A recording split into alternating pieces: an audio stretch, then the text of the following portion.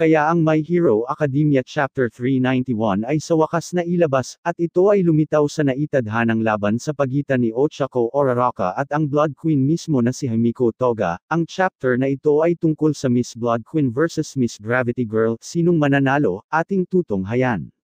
Pero bago tayo magsimula wag kakalimutang pindutin ang subscribe button para manatiling updated sa lahat ng aking video, at kaya hindi na natin papatagalin ito, tayo na at sisisid sa My Hero Academia Chapter 391 na pinamagatang Rejected by the World.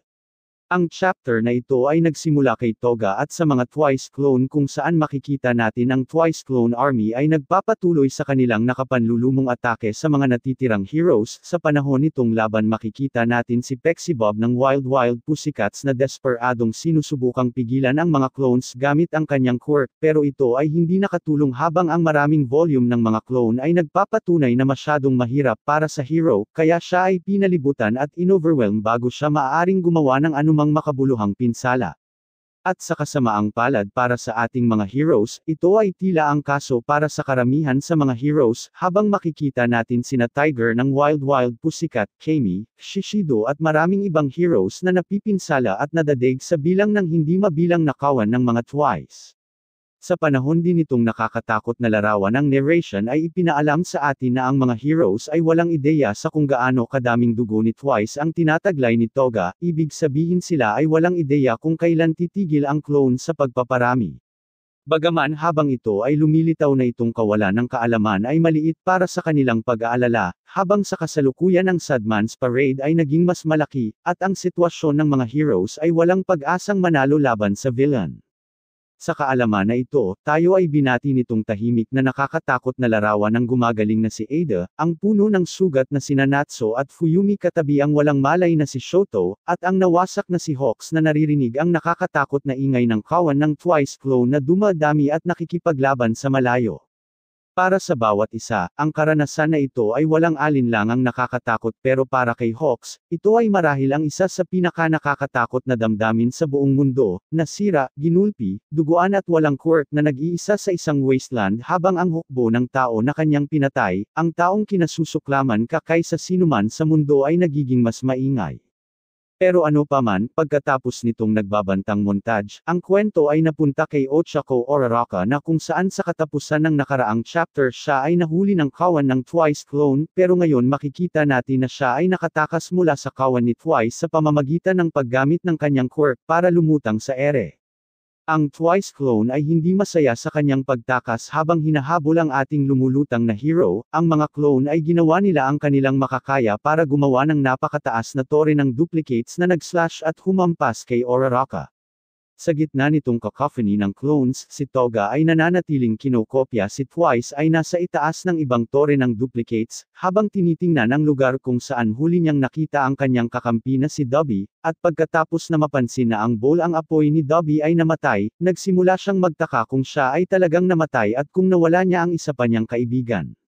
Gayunpaman, sa kasamaang palad para kay Toga, ang pagtatakang ito ang magiging kanyang pagbagsak, habang ang isipan na ito ay nagpoproseso, siya ay masyadong na-distract para mapansin si Oraraka na ginamit ang kanyang grappling device para hulihin ang kamay ni Toga at mag-swing katulad ni Spider-Man palayo mula sa hukbo na humahabol sa kanya at siya ay papunta patungo kay Toga. Ito din ay interesantang sabihin na tinawag ni Oraraka ang maneuver na ito bilang zero-gravity spacewalk kaya sa tingin ko ito ay maaaring maisaalang-alang bilang bagong teknik ni Oraraka, pero ano pa man, habang si Oraraka ay patungo kay Toga, nagsimula niyang kausapin ang villain, binabanggit kung paano niya nakilala lamang si Toga ng kaunting panahon, magmula noong summer ng nakaraang taon, ang kanyang opinyon sa kanya ay nabago ng malaki sa pagdaan ng mga araw.